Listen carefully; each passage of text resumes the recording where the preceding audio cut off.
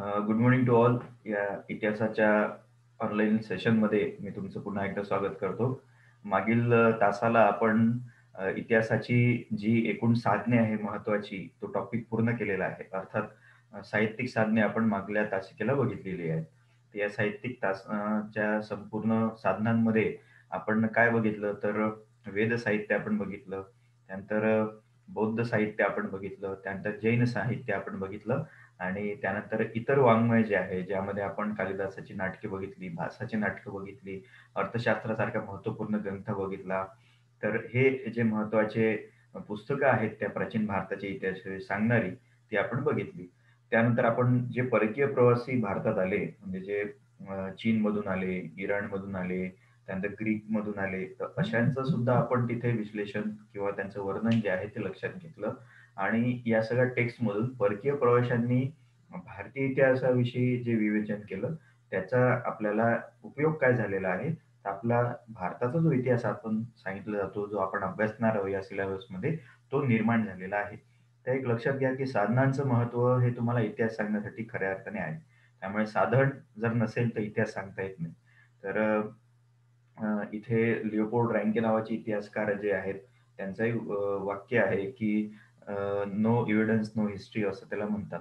म्हणजे जर पुरावे नसतील तर इतिहास नसतो. तर ही भूमिका आपल्याला इथे सुद्धा घ्यावी लागेल की जर तुम्हाला प्रूफ देणाऱ्या गोष्टी जर मिळाल्या नाहीत साधनांच्या दृष्टिकोनातून तर तुम्हाला इतिहास सांगता येणार नाही किंवा त्याला इतिहास म्हणता येणार नाही. बरेचदा काय होतं की आपण गाफीलपणे एखादी गोष्ट सांगतो कधी कधी मनाने लावतो त्याला आपण फेकणे असं सुद्धा म्हणतो. तर ते प्रूफ करण्यासाठी आपल्याला काहीतरी पुरावा लागत असतो. तर हे सगळं कार्य जे आहे ते साधनांमध्ये वर्गीकृत केलं जातं. तर आताचा जो इतिहास जो आहे जो तुम्हाला प्राचीन भारताचा इतिहास म्हणून अभ्यासक्रमात आहे तो सगळा इतिहास केव्हा आला कसा आला तर तो अशा पद्धतीने आला की त्याची पुरातात्विक साधने जे आहेत ते बघितल्या गेलीत आणि साहित्यिक साधनांसोबत त्यांचा दोघांचा मेळ घालण्यात आला त्यांचा अभ्यास करण्यात आला आणि खरं काय आहे हे सांगण्याचा एकूण जो विश्लेषणात्मक भाग जो आहे तो इतिहासकारांनी केला. तर साधनं त्यामुळे फार महत्वाची असतात जो आपण मागील तासिकेचा भाग केलेला होता. आता आपल्याला जो एकूण इतिहासाचे अंग आहेत अनैतिहासिक ऐतिहासिक आणि वर्तमान असे काही अंग असतात इतिहासाचे. तर ज्या कालखंडाला मनुष्य संस्कृती होती पण त्यांची जी भाषा आहे त्यांची जी लिपी जी आहे ती जेव्हा आपल्याला वाचता येत नाही त्याला अनैतिहासिक असं म्हटलं जातं किमान अर्थाने. आणि दुसरं जे ऐतिहासिक आहे तर त्या ऐतिहासिकमध्ये काय येतं की ती भाषा वाचल्या गेलेली आहे ती लिपी वाचल्या गेलेली आहे आणि त्या दृष्टिकोनातून आपण तो इतिहास जो आहे तो खऱ्या अर्थाने आपण सांगू शकतो. असे दोन भाग असतात इतिहासाचे. तर या प्रक्रियेमध्ये भारतीय इतिहास जो आहे तो अनैतिहासिक ऐतिहासिक या दोन्ही पातळीवरचा तुम्हाला दिसून येतो. भारताला या दृष्टिकोनातून एक संपन्न इतिहास जो मिळाला त्याच एकूण प्रारूप जे आहे ते आपल्याला आजच्या टॉपिकवर बघायचं आहे. तर आजचा जो टॉपिक जो आहे तो खऱ्या अर्थाने भारतीय इतिहासाचा पहिले भाग नव्हता. म्हणजे आपला जो इतिहास आहे तो ब्रिटिशांनी शोधून काढलेला आहे. मग आपण काही भारतीय इतिहासकार ब्रिटिश काळात बघितलं की ज्यांनी प्राचीन भारताचा इतिहास सांगितला या सगळ्या साधनांवरून. तर आधीच्या कालखंडात काय व्हायचं की भारताचा इतिहास जो आहे हा अश्मयुगीन काळानंतर एकदम वैदिक काळापासून सुरू व्हायचा. म्हणजे काय? तर आधी अश्मयुगीन काळ आणि त्याला लागून जो आहे तो वैदिक काळ असा तो दोन बिंदू होते. कारण की मधला जो कालखंड आहे या मधल्या कालखंडातला कोणताही इतिहास जो आहे जो तीन चार हजाराचा काल वर्षाचा इतिहास होता तीन चार हजार वर्षाचा इतिहास म्हणजे खूप मोठा इतिहास असतो.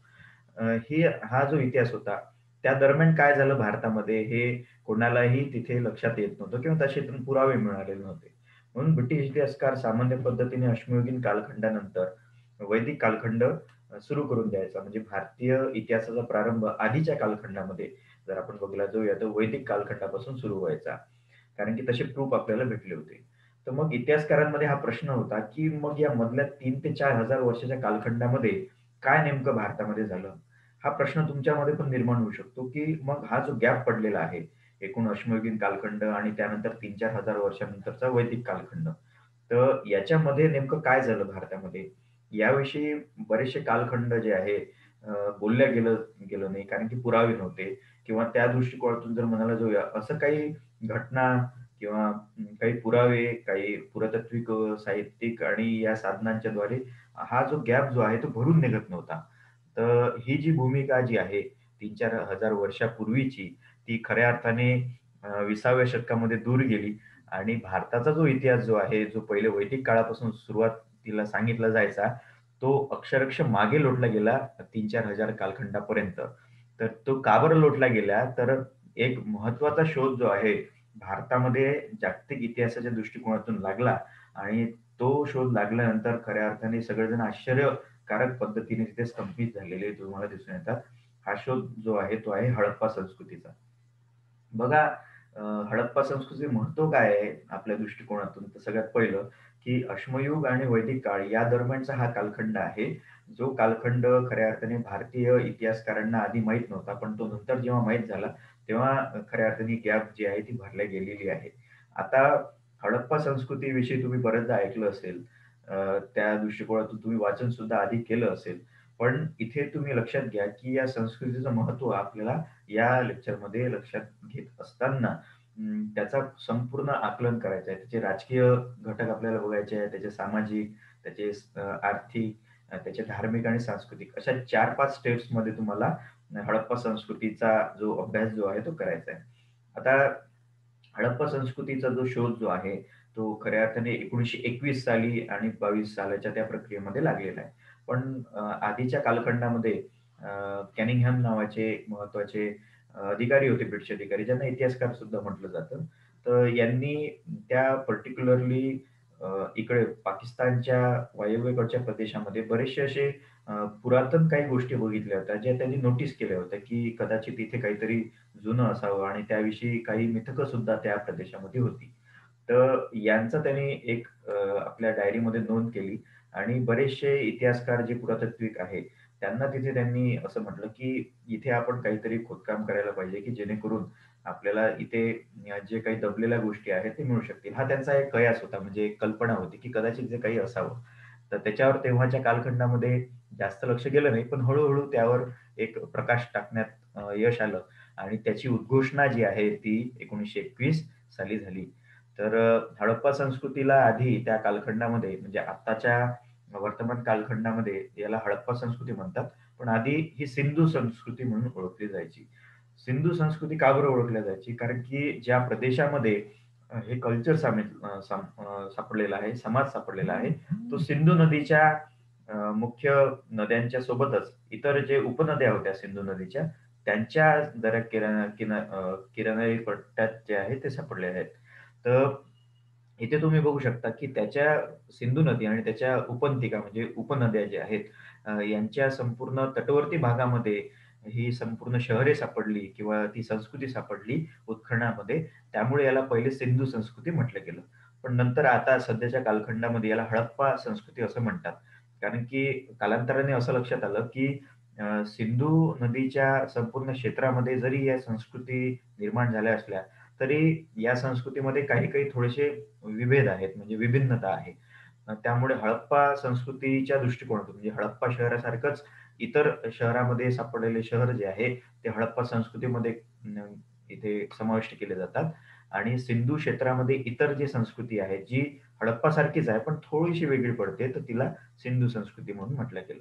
तर अशा पद्धतीने हा एक सैद्धांतिक मतभेद जो आहे, तो इथे तुम्हाला दिसून येतो. त्यामुळे सिंधू संस्कृती जेव्हा आपण म्हणतो, तेव्हा ती संपूर्ण क्षेत्रातली एक संस्कृती येते. पण हडप्पा संस्कृती जेव्हा आपण म्हणतो, तेव्हा पर्टिक्युलरली हडप्पामध्ये जे सापडलं, तेच इतर क्षेत्रामध्ये सापडलं. त्यामुळे त्या हडप्पाच्या जवळ जाणाऱ्या इतर शहरांना हडप्पा संस्कृतीचा भाग समजला जातो. तर तोच आपल्याला आता अभ्यासायचा आहे आणि हडप्पा संस्कृती खऱ्या अर्थाने कशी होती, काय होती, हे आजच्या लेक्चरचा आपला भाग आहे. तर सगळ्यात आधी, सगळ्यात पहिल्यांदा तुम्हाला जे मला सांगायचं आहे, की 1921 साली जेव्हा हडप्पा शहर सापडलं रामदास बॅनर्जी यांना आणि 1922 साली मोहनजोदाडो हे शहर ची उद्घोषणा झाली. दयाराम साहनी यांनी के यांनी ती केली. तेव्हा ही शहरं जी आहेत, ती मुख्य प्राबल्याने सापडलेली शहरं होती. मग हळूहळू मग इतर भारताच्या क्षेत्रामध्ये म्हणजे राजस्थानमध्ये, गुजरातमध्ये, त्यानंतर पंजाबमध्ये, जर आपण म्हणूया हरियाणामध्ये या संस्कृतीच्या सदृश्य म्हणजे समान असणारी शहरं सुद्धा सापडत गेली. त्याच बाजूने आता 1947 साली भारत आणि पाकिस्तानची फाळणी झाली असल्या कारणाने पाकिस्तानामध्ये सुद्धा हडप्पा आणि मोहनजोदाडो या शहरासकट इतर ठिकाणी सुद्धा या संस्कृतीतले काही महत्त्वाचे बिंदू जे आहेत ते सापडायला लागले. तर अशा पद्धतीने भारत आणि पाकिस्तानमध्ये या दोन्ही मिळून जर आपण म्हणायला जाऊया, तर ही संस्कृती तुम्हाला दिसून येते. तर याचं पहिले आपल्याला सगळ्यात महत्त्वाचं सिंधू किंवा हडप्पा संस्कृतीचा विस्तार किंवा क्षेत्र जे आहे ते आपल्याला पहिल्यांदा बघायचं आहे. ते आपण मॅपवर बघूया. त्यासाठी तुम्हाला हे शेअर करतोय. म्हणजे अधिक चांगल्या पद्धतीने तुम्ही ते समजू शकाल.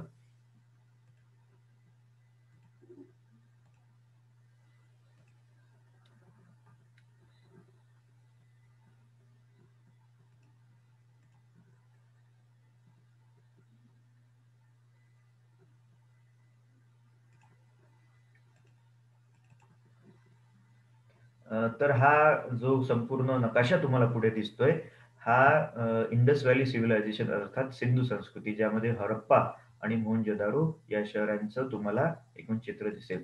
तर जी संस्कृती आपण बघणार आहोत आता, सिंधू संस्कृती आपण ज्याला म्हटलेलं आहे, ती कोणत्या क्षेत्रामध्ये विस्तारलेली होती, हे तुम्हाला या मॅपवरून दिसून येईल. बघा, हा जो गुलाबी एरिया तुम्हाला दिसून येतो, या इतक्या मोठ्या प्रदेशामध्ये तुम्हाला सिंधू संस्कृती दिसून येते. तर इतकं हे जे क्षेत्र आहे ते तुम्हाला उत्तर ते दक्षिण, पूर्व ते पश्चिम कितीतरी हजारो स्क्वेअर फीट्समध्ये तुम्हाला ती दिसून येईल, की यावरून तुम्हाला अंदाज येऊ शकतो, की या संस्कृतीतले लोक कुठे-कुठे विस्थापलेले होते. तर हा जो नकाशा आहे तो वर्तमान भारताच्या दृष्टिकोनातून आहे आणि पाकिस्तानच्या.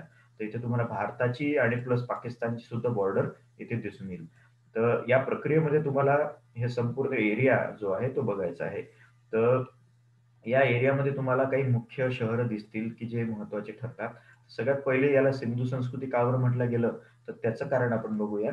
तर ही जी इंडस आहे, इंडस म्हणजे सिंधू नदी जी आहे, जी इथे भारताच्या जवळ उगम पावते मानसरोवराच्या जवळ आणि इथून ती हिमालयामधून म्हणजे काश्मीरमधून निघून ती संपूर्ण पंजाबमध्ये जाते आणि पंजाबमधून ती इकडे अरबी समुद्राला मिळते. तर हा तिचा रूट आहे संपूर्ण सिंधू नदीचा आणि या संपूर्ण सिंधू नदीच्या क्षेत्रामध्ये जर आपण बघायला जाऊया, तिच्या बाजूच्या खाली काही उपनद्या होत्या. म्हणजे सिंधूने इतर अनेक प्रदेशामध्ये आपल्या जे आहेत प्रवाह बदलली. त्यातून दुसऱ्या नवीन नद्या निर्माण झाल्या. तर त्या नद्या तुम्हाला इथे दिसून येतात. तर याच्यामध्ये तुम्हाला व्यास व्यास नदी, झेलम नदी, त्यानंतर चिनाब नदी, रावी नदी असे तुम्हाला दिसून येतील. तर ते आपण पुन्हा आणखी एका नकाशामध्ये बघणार आहोत. तर इथे तुम्ही बघा की हडप्पा हे शहर जे आहे, ते तुम्हाला इथे सिंधू नदीच्या एका उपनदीजवळ दिसून येतं. ही उपनदी कोणती? ते आपण बघणार आहोत. त्यानंतर मोहनजोदाडो हे जे दुसरं शहर महत्वाचं आहे इतिहासामध्ये मानलं गेलं, ते सुद्धा तुम्हाला सिंधू नदीच्या प्रक्रियेमध्ये दिसून येतं, या मुख्य प्रवाहाच्या जवळ. आणि हे जे दोन शहर आहेत, हे सध्या पाकिस्तानमध्ये आहे. त्यानंतर मेहरगड नावाचं शहर सुद्धा पाकिस्तानमध्येच आहे, जे ते प्रसिद्ध शहर आहे. तर या संस्कृतीचा विस्तार जो आहे, तो तुम्हाला भारतातही दिसून येतो. ते म्हणजे लोथल, गुजरातमधलं लोथल आणि इथे एक राजस्थानमध्ये कालीबंगड नावाचं शहर मिळालेलं आहे, जे मोठं शहर मानलं जातं. त्याच्यात दाखवलेलं नाहीये, पण मी तुम्हाला दाखवणार पुढच्या मॅपमध्ये. तर या नकाशावरून तुम्ही लक्षात घ्या, की किती मोठ्या एरियामध्ये ही संस्कृती स्थापित झाली होती. म्हणून बघा तीन ते चार हजार वर्ष सलग पद्धतीने ही संस्कृती या प्रदेशावर राहिली आणि ही उन्नत संस्कृती म्हणून मानली जाते. त्याचा विस्तार आपण या नकाशात बघितला. आणखी बघूया आपण. ठीक आहे. तर हा एक नकाशा आहे आणखी जो तुम्हाला अधिक स्पष्टतेने ही नद्या ज्या आहेत आणि त्याची शहरे जी आहेत ते दाखवून देईल. तर इथे आपण सगळ्यात पहिले बघूया ते म्हणजे हडप्पा शहर जे आहे ते पाकिस्तानमध्ये आहे. ते कोणत्या नदीवर आहे? तर ती नदी तुम्हाला दिसून येईल ती रावी नदी. बघा हे लक्षात ठेवा हे ऑब्जेक्टिव्हसाठी महत्वाचं आहे. ऑब्जेक्टिव्हमध्ये प्रश्न विचारले जातात, की हडप्पा शहर कोणत्या नदीच्या ठिकाणी स्थापित झालेलं होतं? तर ते आहे रावी नदी. इथे रावी नदी दिसते.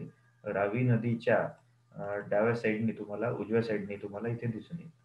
तर हडप्पा ही शहर रावी नदीच्या काठी आहे. त्यानंतर इथे तुम्ही बघा, इथे सतलज नदी आहे. ठीक आहे. आणि ही मुख्य सिंधू नदी आहे. तर इथे पुढे-पुढे गेल्यानंतर तुम्हाला आणखी दुसरं महत्त्वाचं शहर जे मी तुम्हाला दाखवलं ते म्हणजे मोहनजोदारो शहर. तर हे शहर कोणत्या नदीच्या काठी आहे? तर सिंधू नदीच्या काठी. मुख्य सिंधू नदीच्या काठी इथे उजव्या साईडला मोहनजोदारो शहर हे स्थापन झालेलं आहे. हे सुद्धा ऑब्जेक्टिव्हमध्ये तुम्हाला विचारलं जाईल. तर तुम्ही लक्षात घ्या, तुम्हाला जेव्हा विचारलं जाईल की हडप्पा आणि मोहनजोदाडो शहर हे कोणत्या नदीच्या काठी आहे तर तुम्हाला या मॅपद्वारे लक्षात घ्या तुम्ही हा मॅप जो आहे तो डोळ्यातच घ्या की हरप्पा शहर रावी नदीच्या काठी आहे तर मोहनजोदारो शहर जे आहे ती सिंधू नदीच्या किनारी आहे. तर हे दोन डिफरन्सेस जे आहेत ते तुम्ही लक्षात घ्या. ठीक आहे?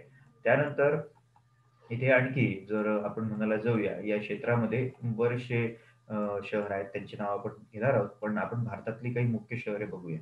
तर इथे गुजरातमध्ये जे महत्वाचं शहर आहे ते आहे लोथल. तर तुम्हाला प्रश्न विचारला जाईल ऑब्जेक्टिव्हमध्ये की गुजरात येथे हडप्पा काळी कोणतं शहर सापडलेलं आहे? तर लोथल. लोथल शहर आहे. त्या लोथल शहराचं वैशिष्ट्य काय? जहाजाची गोदी इथे सापडलेली आहे. म्हणजे डॉकयार्ड ज्याला म्हणतो ते जहाजाची गोदी नेमकं काय हे तुम्हाला सांगतो. म्हणजे जिथे जहाज जे आहेत ते थांबवले जायचे. कारण की हा व्यापार जो आहे लोथलपासून या प्रदेशामध्ये अरबी समुद्रात व्हायचा. तर ते आपण बघूया नंतर. सध्या पुरतं हे. ठीक आहे. तर राजस्थानमध्ये जर आपण बघायला जाऊया तर हे राजस्थानचा एरिया. राजस्थानमध्ये कालीबंगन नावाचं शहर कालीबंगन.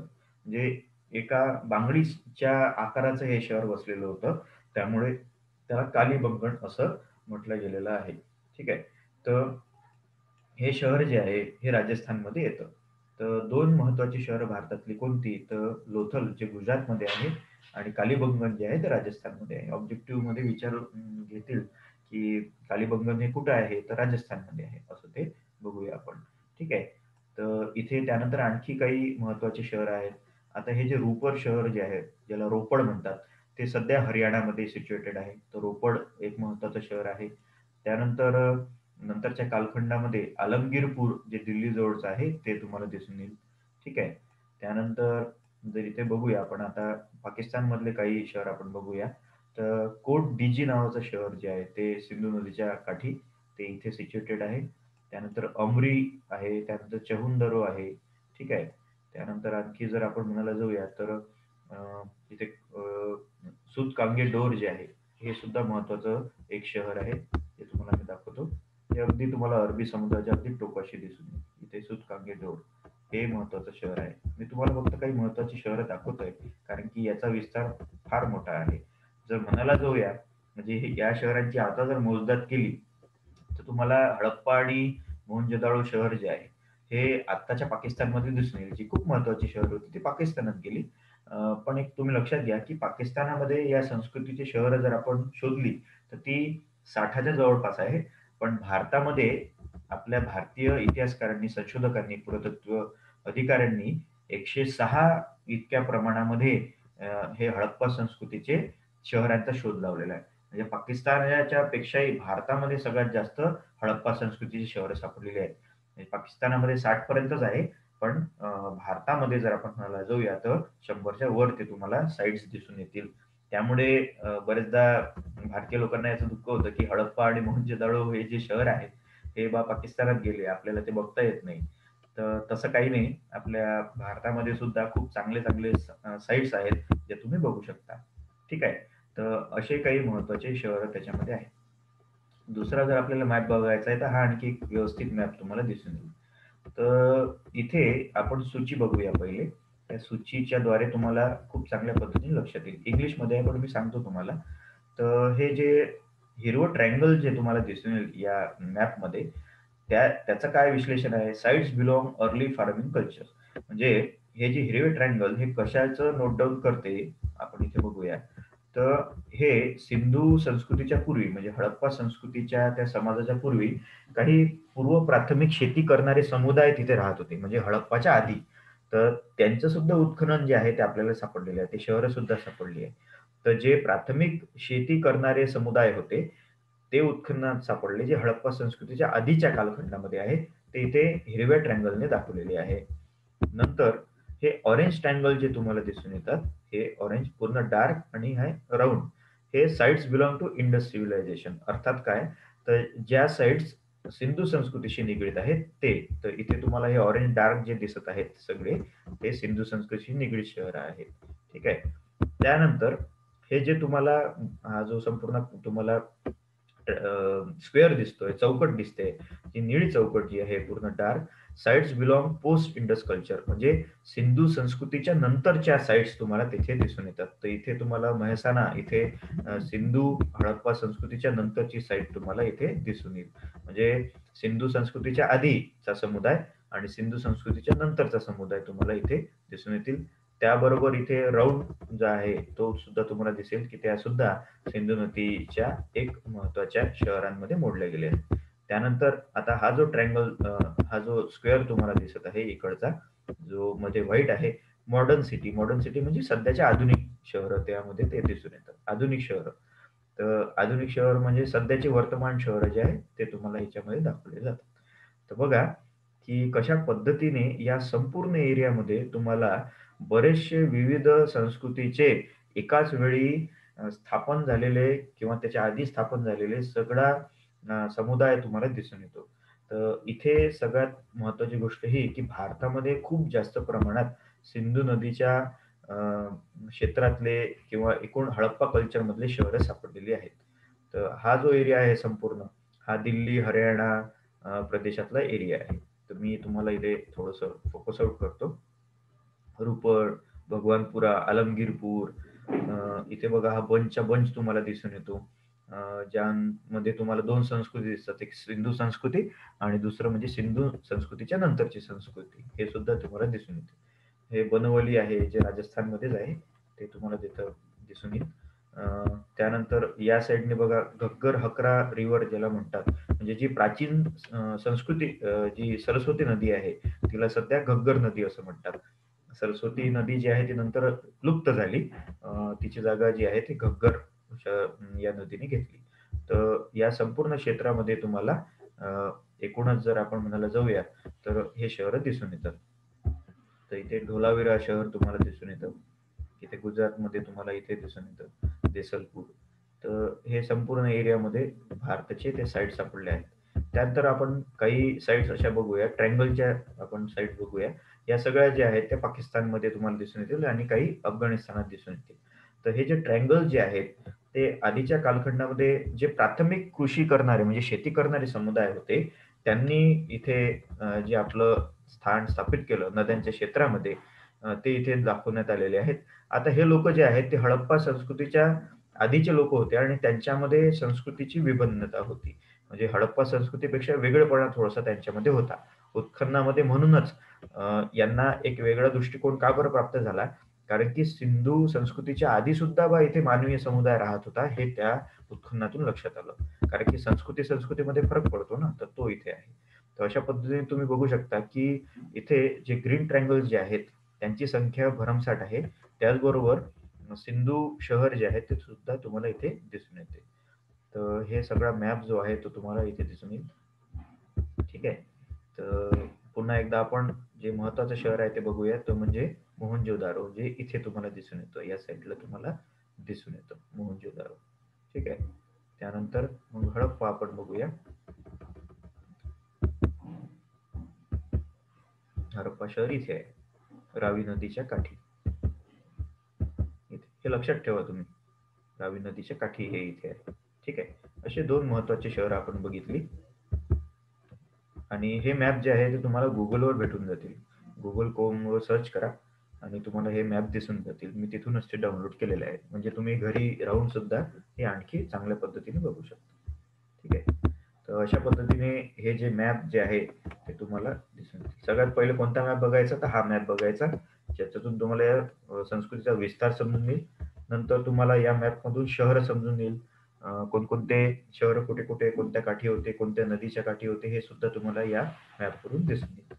इथे सुद्धा तोच आहे पण हा मॅप खूप चांगला आहे त्या प्रक्रियेतून. तर ही भूमिका जी आहे ती आपल्याला या विस्तारातून मॅपमधून दिसून येईल.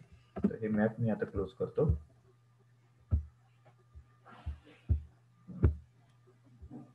तर तुम्ही लक्षात घेऊ शकता या मॅप वरून की कशा पद्धतीने जर आपण म्हणायला जाऊया एक बेसिक थीम तुमच्या डोक्यात आली असेल की या संस्कृतीचं लक्षण जे आहे ते कशा पद्धतीने तिथे पॉइंट आउट करण्यात आलेलं आहे तर यातूनच जर आपण म्हणायला जाऊया एक महत्त्वाचा दृष्टिकोन तुम्हाला इथे सामान्यपणे दिसेल की या संस्कृतीचा विस्तार किती होता आणि म्हणूनच तीन ते चार हजार वर्षाचा जो इतिहास जो आहे, कालखंड जो आहे, तो आपल्याला का बरं महत्त्वाचा आहे? तर या दृष्टिकोनातून तो महत्त्वाचा आहे. तर आता आपण खऱ्या अर्थाने या संस्कृतीच्या गाभ्यामध्ये जाणार आहोत. कारण की जर आपण या संस्कृतीच्या गाभामध्ये गेलो नाही, त्यांच्या घटकाकडे बघितलं नाही, तर तुम्हाला लक्षात येणार नाही की या संस्कृतीचं महत्त्व काय आहे? बरेचदा तुम्ही वाचलं असेल, पण पुन्हा डिटेलिंग जे आहे ते आपल्याला करणं भाग आहे. तर मॅप जो आहे, मॅपद्वारे तुम्हाला लक्षात आलं की या संपूर्ण हडप्पा संस्कृतीचं किमान केंद्र किंवा ती शहरं कुठे होती आणि त्या शहरामध्ये आता काय आहे हे आपल्याला बघायचं आहे. तर हे बघत असताना तुम्हाला मी सगळ्यात पहिले काही चित्र दाखवणार. ते चित्र तुम्हाला बघायचे आहेत आणि त्यानंतर मग मी एक-एक, एक-एक विश्लेषण तुम्हाला त्याचं करेन. तर प्रत्येक घटकाच्या द्वारे मी इथे तुम्हाला काही मॅप मॅपपेक्षा आता फोटो दाखवणार, की त्यातून तुम्हाला त्याचं संपूर्ण अंग जे आहे ते लक्षात येईल. ठीक आहे. तर इथे मी तुम्हाला पुन्हा एकदा स्लाईड शेअर करतोय. ते तुम्ही बघावं, की कशा पद्धतीने हडप्पा संस्कृती आपल्या या सध्याच्या संस्कृतीपेक्षा किमान अर्थाने जे 3-4 हजार वर्षापूर्वी होऊन गेलेली आहे इसवी सनाच्या, त्याचं वैशिष्ट्य काय आहे आणि का बरं लोक त्याला इतकं महत्त्व देतात? तर ते आपण बघणार आहोत आता पुन्हा एकदा.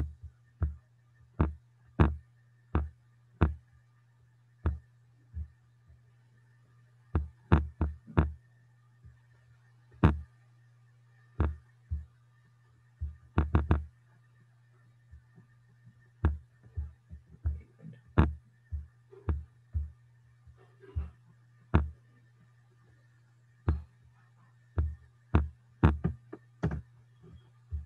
हं.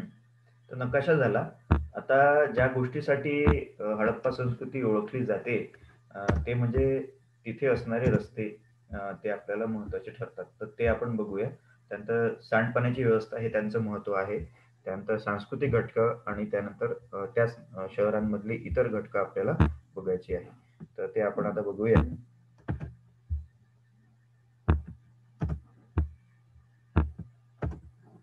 ठीक आहे. तर आता तुम्हाला मी संपूर्ण शहराचं मुख्य वैशिष्ट्य जे आहे ते सांगतो. ते बघा, की हे जे चित्र तुम्हाला दिसत आहे, हे चित्र त्या शहरामध्ये असणारा महामार्ग जो आहे, म्हणजे आपण मुख्य रस्ता जो असतो प्रत्येक शहरातला किंवा प्रत्येक गावातला तो हा आहे. तर याला बघून तुम्हाला एक गोष्ट इथे ध्यानात घ्यावी लागेल, की आपण कोणत्या शहराची गोष्ट करतोय, तर हडप्पा शहराची गोष्ट करतोय, मोहनजोदाडो शहराची गोष्ट करतोय आणि हे शहर जे आहे, हे शहर तीन इसवी सन पूर्व तीन ते चार हजार वर्षापूर्वीचं शहर आहे. म्हणजे जिथे आपण आधुनिक कालखंडामध्ये हायवेज वगैरे बांधण्याच्या गोष्टी करतो, मुख्य रस्ता बांधण्याची गोष्ट करतो. त्याच्या तरी कितीतरी हजारो वर्षापूर्वी या शहरातल्या लोकांनी एक मोठा महामार्ग जो आहे, तो बांधलेला होता आणि हा महामार्ग जो आहे, तुम्हाला इथे पुढे या स्क्रीनवर दिसून येईल. बघा, हा संपूर्ण विटांनी बांधलेला महामार्ग होता, मोठा महामार्ग होता आणि या प्रक्रियेमध्ये हा काटकोणामध्ये छेदणारा आणि सरळ मार्गी असा रस्ता होता. म्हणजे सिंधू संस्कृतीमधले शहर किंवा हडप्पा संस्कृतीमधल्या शहरांचं एक सगळ्यात महत्त्वपूर्ण वैशिष्ट्य आहे रस्ता. तो का बरं? कारण की हे जे रस्ते होते, त्या संपूर्ण शहरामध्ये एकमेकांना काटकोणात छेदणारे होते. अर्थात काय? तर जाळी जशी असते आपली, ती जाळी जशी एका स्ट्रेट लाईनमध्ये असते, मग गाढवी रेषेमध्ये ती असते. त्या जाळीचं चित्र तुम्ही डोळ्यासमोर आणा. त्या चित्रांच्या दृष्टिकोनातून जर आपण इथे ती शहरावर ठेवलं, तर तशा पद्धतीचे आधुनिक रस्ते जे आहेत, ते त्या लोकांनी तेव्हाच्या काळात बांधले होते तीन ते चार हजार वर्ष तर लक्षात घ्या, की आपण आता सध्या कोणत्या शतकात राहत आहोत आणि आपण कोणत्या शतकाची गोष्ट करतोय. तर इसवी सनाच्या आधी म्हणजे येशू ख्रिस्ताच्या जन्माच्या पूर्वी तीन चार हजार वर्षाच्या संपूर्ण प्रक्रियेमध्ये आपल्याला हे रस्ते बघावे लागतात. अशा पद्धतीने हा रोड तुम्हाला दिसून येईल, की जो तुम्हाला एकूण अंग जो आहे या रस्त्याचा संपूर्ण दिसेल. विटांमध्ये बांधलेला असायचा. तर ही कल्पना असणे तेव्हाच्या कालखंडामध्ये खूप कठीण गोष्ट होती. कारण की आपण बघतो, आपण आधुनिक काळात राहतोय, तरीसुद्धा गावातले रस्ते जे आहेत ते कसे आहेत किंवा त्या गावातल्या रस्त्यांना ना तुम्ही जर बघता तर ते इतकी विचित्र अवस्था, वाईट अवस्था त्यांची असताना आपण कितीतरी हजारो वर्षापूर्वी या लोकांनी खूप चांगले रस्ते बांधले. तर इथे तुम्ही एक लक्षात घ्या, हा दुसरा रोड जर आपण बघितला या प्रक्रियेमध्ये, तर तो सुद्धा आहे. पण तुम्हाला मोस्टली जर म्हणायला जाऊया, रोड 90 डिग्रीच्या प्रक्रियेमध्ये, तर हा एक आणखी आहे. बघा, जसा मी मुख्य महामार्ग तुम्हाला दाखवला, तसं या शहरांचं आणखी एक वैशिष्ट्य असं, की या मुख्य शहरासारखेच रोड्स जे आहेत ते तसे गलीमध्ये सुद्धा होते. मग बघा, की की जे घरं असायचे त्या रस्त्याच्या अगदी बाजूला, तर त्या घरांच्या दरम्यान सुद्धा या लोकांनी चांगले रोड जे आहेत ते केलेले तुम्हाला दिसून येतात. आता तुम्ही हे बघितलं असता सध्याचा सिमेंट रोड तुम्हाला आठवेल.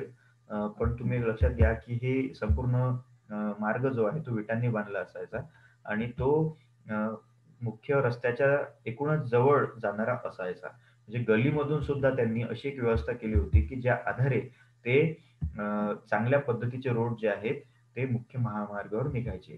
तर एकूण जर आपण बघायला जाऊया, तर गलीने सुद्धा 90 डिग्रीच्या काटकोणात छेदणाऱ्या रस्त्याने सुद्धा त्यांनी एक व्यवस्थित रोड मॅप जो आहे तो केलेला होता आणि त्याची निगा सुद्धा चांगली पद्धतीने राखली होती.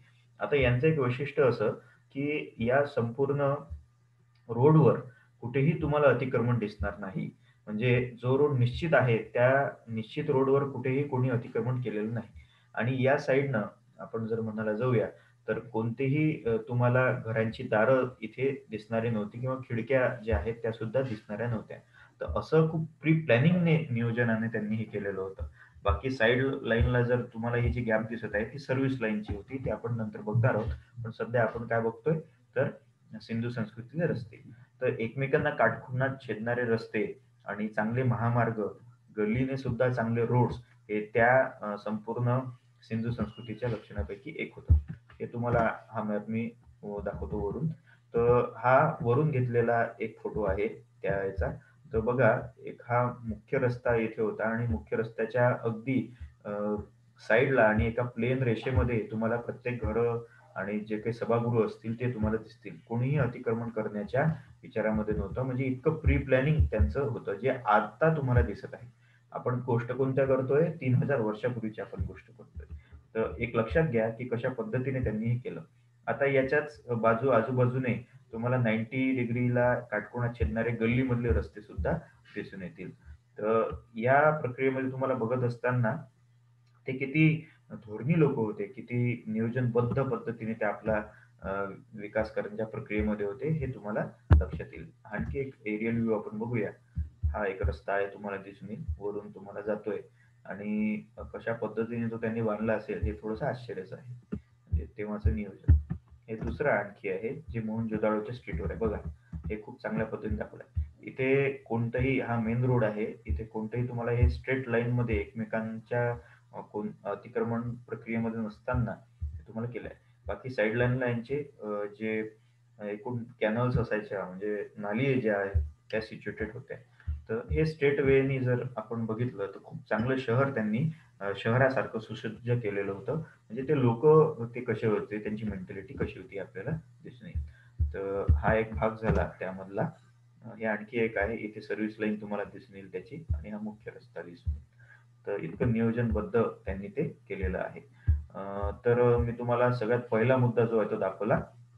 आता आपण दुसरं सेशन सुरू करू. याच्यानंतर हे बंद होईल कारण की एकच मिनिट राहिलेलं आहे. तर आपण दुसऱ्या सेशनमध्ये भेटूया. हे सेशन मी इथे थांबवतोय. अ, दुसरं सेशन लगेच 2-3 मिनिटात आपण सुरू करूया. त्याच्यात इतर मुद्दे आपल्याला घ्यायचे ठीक आहे. तर मला रिजॉईन करतो